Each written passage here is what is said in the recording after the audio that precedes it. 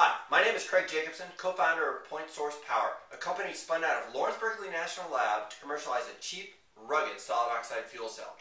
This revolutionary technology can take anything that burns and convert it to electricity.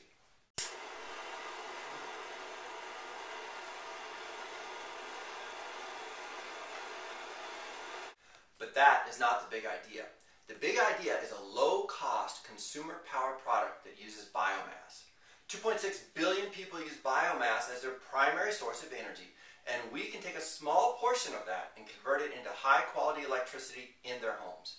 People want electricity to charge modern consumer devices like cell phones, lights, radios, TVs, and computers. These technology products led by the cell phone are becoming commonplace in even the most remote parts of the world. Now these users are paying a thousand times more to charge their cell phone than you and I.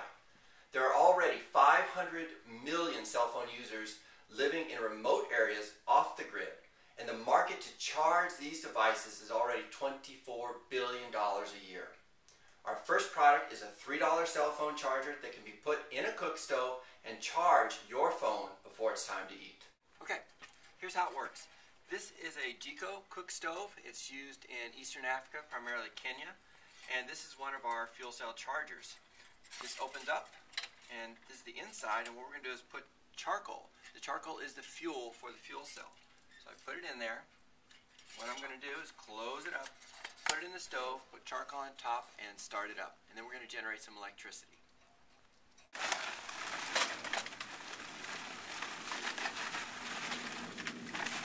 The fire is going, the fuel cell is nice and hot, and what I'm going to do is connect a, an adapter for the cell phone. This is a micro USB adapter, and it has actually a voltage booster chip in it. And that goes right into my cell phone. And away we go. Now, this charger allows you to produce power when you need it in the safety of your own home, in contrast to solar chargers that must be left outside all day, which is inconvenient and can lead to theft.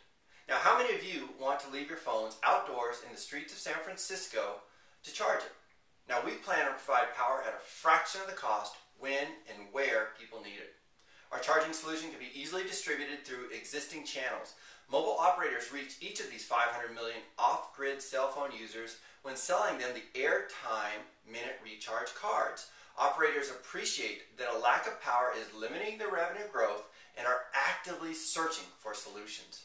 Our charger can easily be distributed through the, their channels because it is similar in size to that recharge card.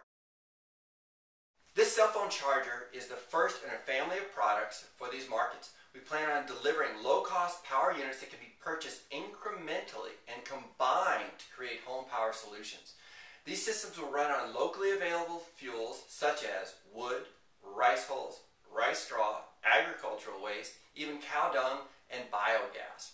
At Point Source Power, our vision is to have hundreds of millions of people create affordable electricity from renewables and leapfrog an addiction to coal and oil. To make this a vision reality, we need your help. Right now, I'm in India and traveling through Kenya trying to figure out how to make this idea a reality. But together, we can bring